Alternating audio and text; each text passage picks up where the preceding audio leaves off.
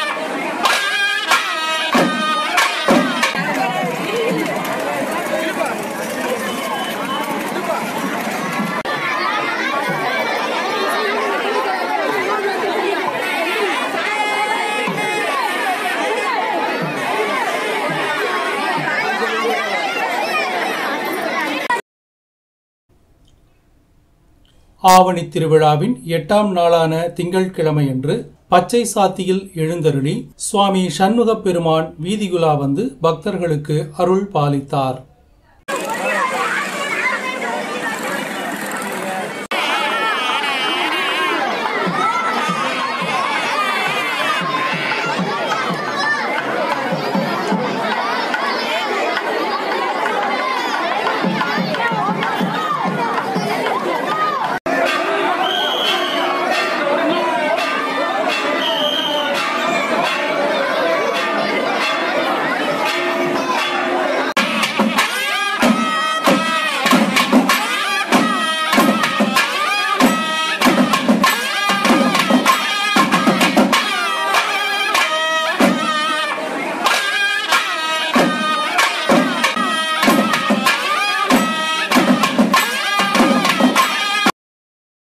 ஆவணி திருவிழாவின் ஒன்பதாம் திருநாளான செவ்வாய்க்கிழமை இரவு சுவாமி கைலாய பர்வத வாகனத்திலும் அம்மன் கமல வாகனத்திலும் எழுந்தருளி வீதிகுலா வந்து அன்பர்களுக்கு அருள் பாலித்தார்கள்.